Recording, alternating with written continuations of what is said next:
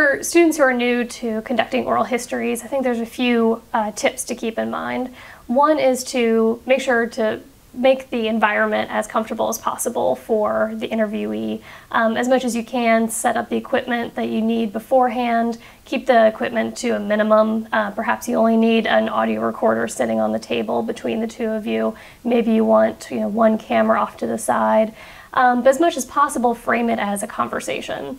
And you know that conversation can take twists and turns it's good to have some questions in front of you that you know you want to ask, but the most important thing is to listen to what they're saying and to react. So maybe not following, you know, question one, question two, but they might say something that sparks your interest and you know, well, tell me that story that you that you mentioned. So allowing the conversation to take a natural track is the way that you're going to really unveil um, some truths and some surprises. I think going with one thing that Hannah was saying about comfort and in making sure that your equipment doesn't make the experience feel too unnatural. Um, if the person is willing, uh, try to do this in their home or try to do it in a place that's very comfortable to them. Uh, when we have to go out and put ourselves into unfamiliar locations, uh, especially if we're talking about difficult things, but if we're talking about anything personal, and if we're talking about oral history, it's probably something personal. Um, that's going to be easiest if we're in a place that's very comfortable to us. It is the case today with uh, modern HDSLR cameras that you can film effectively in a, a wide range of environments. You don't need lighting. Uh, you can do this with uh, a, a, wide open window, essentially acting as your key light, as the term goes, as a nice big bright light.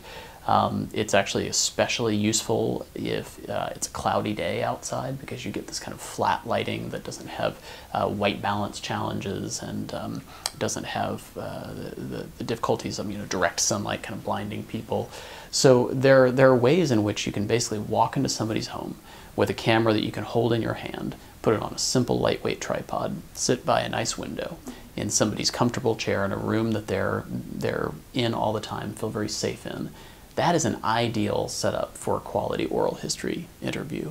The person is comfortable, they're going to be more likely to tell you a, a really good story, a, a story that uh, goes in all the directions you might want it to go, and you haven't made of their space something artificial and unnatural and un unsettling with tons and tons of gear. I think it can be hard to know where to start with an oral history, and I think one good way to help frame a conversation is to ask them to provide some photos or some mementos, have something for them to look at and refer to um, versus trying to think of stories off the top of their head. Yeah, we have to keep in mind that people are not actors. The the people that we sit down for oral history interviews with, they're not actors, and so that you they can't just start.